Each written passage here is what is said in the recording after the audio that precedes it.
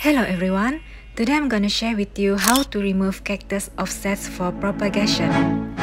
You need to use tweezers or chopsticks to hold the cactus while cutting.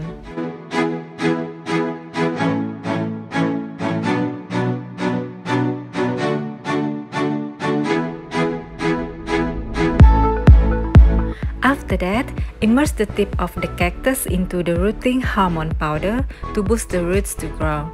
If you don't have this powder, it's okay.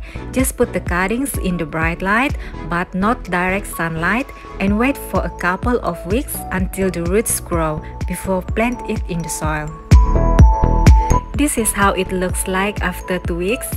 Actually, within a week, I already seen the signs of root growth, but I decided to wait a little longer before plant it.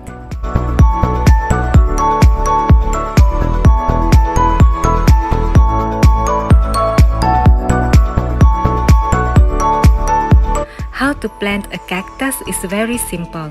You just need to make a hole and plant the root part into the hole.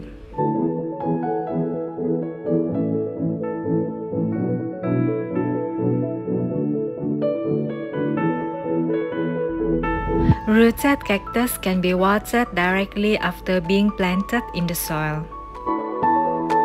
If you think this video is helpful, please like, comment, and share. Thank you so much for watching and have a nice day!